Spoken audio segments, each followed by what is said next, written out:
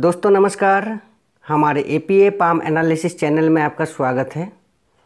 दोस्तों, इस वीडियो में हम भाग्य रेखा के बारे में चर्चा करेंगे। तो सबसे पहले बात करेंगे हाथ की अलग अलग स्थानों से शुरू होने वाला भाग्य रेखा के बारे में। फिर इसके बाद भाग्य रेखा पर बनने वाले कुछ अच्छे बुरे संकेतों पर चर्चा करेंगे। तो चर्चा आरंभ करने से पहले मेरा आपसे एक छोटा सा रिक्वेस्ट है। अगर मेरे चैनल को अभी तक सब्सक्राइब नहीं किए हैं तो प्लीज़ सब्सक्राइब करें। ताकि अगले वीडियो की जानकारी आप तक पहुँच सके। तो अब चलिए चर्चा को शुरू करते हैं। दोस्तों, हाथ की इस वाले रेखा को भाग्य रेखा कहा जाता है। ये रेखा हाथ के कहीं से भी शुरू हो सकता है, लेकिन इसका अंत जो है, वो मध्यमा उंगली के नीचे जाकर ख़त्म होती है। मध्यमा उंगली के नीचे इस वाले एरिया को शनि पर्वत कहा जाता है। तो इसीलिए भाग्य रेखा को शनि रेखा भी कहा जाता है और इसे धन रेखा भी कहा जाता है।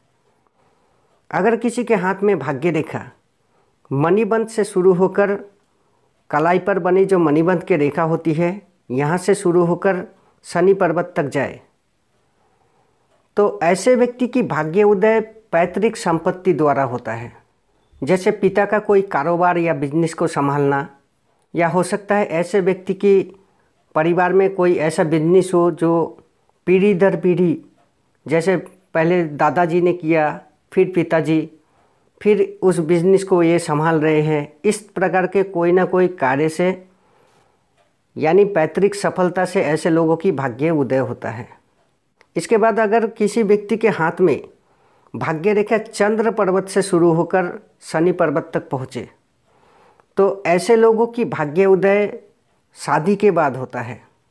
हो सकता है पत्नी के तरफ़ से कोई सपोर्ट हो बिज़नेस में, या पत्नी जॉब करने वाला हो, या अगर इस तरह के कोई भी कुछ भी ना रहे, लेकिन फिर भी ऐसे लोगों की जो किस्मत है, वो शादी के बाद ही बनता है, शादी के बाद चमकता है।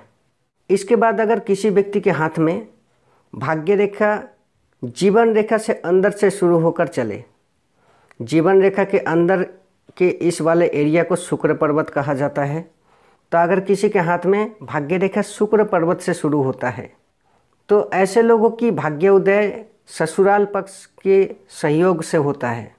मेरा कहने के मतलब दहेज लेना नहीं। हो सकता है ससुराल पक्ष के तरफ़ से कोई बिज़नेस में सहयोग मिला हो, या या ऐसे लोगों की जो है वो शादी ऊँचे खानदान में मतलब धनी परिवार में हुआ होगा। ससुर का जायदाद संपत्ति काफ़ी सारा है, और उसको मैनेज करना, उसको संभालना इस प्रकार के कोई भी सहयोग हो सकता है।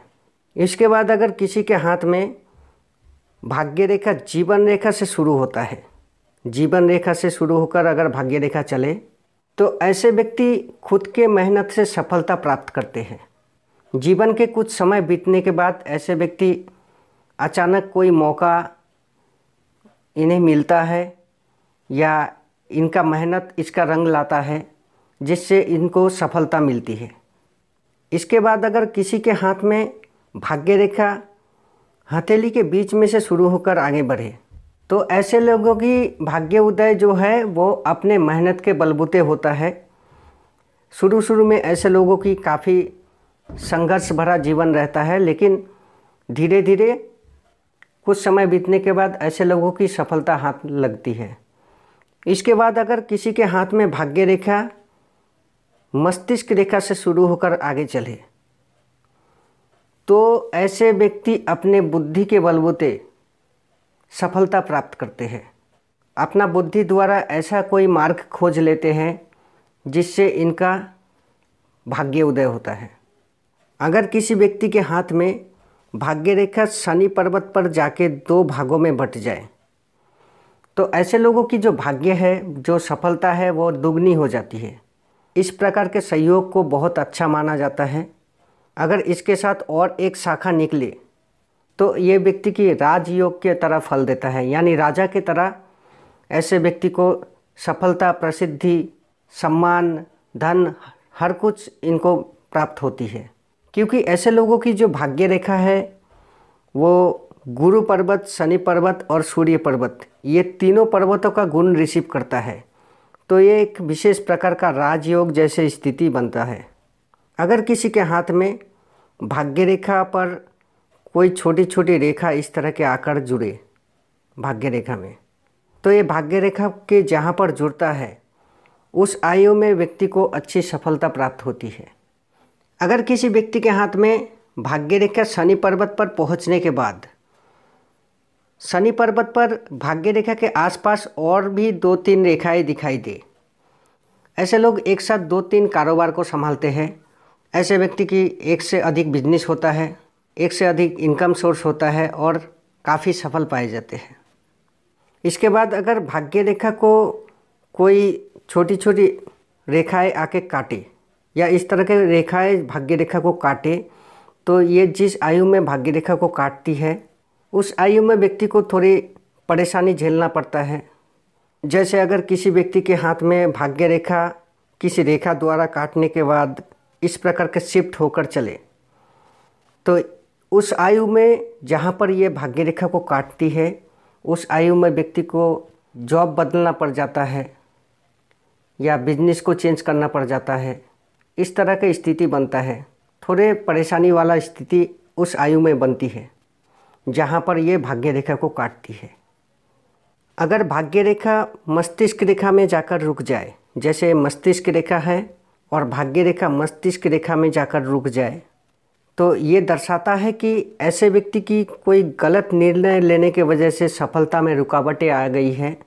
अगर इस प्रकार की स्थिति बनता है किसी के हाथ में तो ये जो समय है, मस्तिष्क रेखा के बाद का जो समय है यानी 35 वर्ष के बाद का जो समय है 35 वर्ष के बाद ऐसे लोगों की स्ट्रगल थोड़ा बढ़ जाता है, लेकिन ऐसा व्यक्ति कोशिश करते रहे तो इनको सफलता ज़रूर प्राप्त होगी।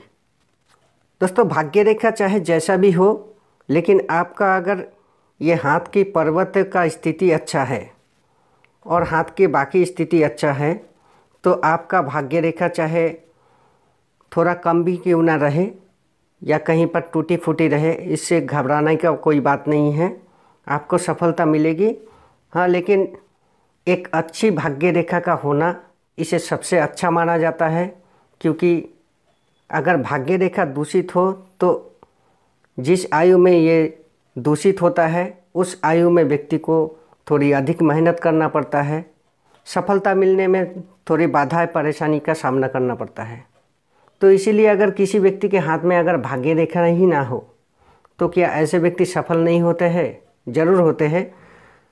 क्योंकि पर्वतों का स्थिति अगर अच्छा होता है तो ऐसे लोगों का अगर भाग्य रेखा हाथ में नहीं भी हो, अपने मेहनत के बलबूते पर, अपने पुरुषार्थ से ऐसे लोग अपना भाग्य को निर्माण करते हैं। तो दोस्तों, ये छोटी सी वीडियो थी मेरा भाग्य रेखा के बारे में।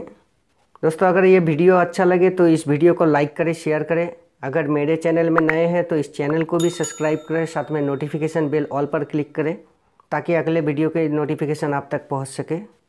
तो इस वीडियो में बस इतना ही। धन्यवाद।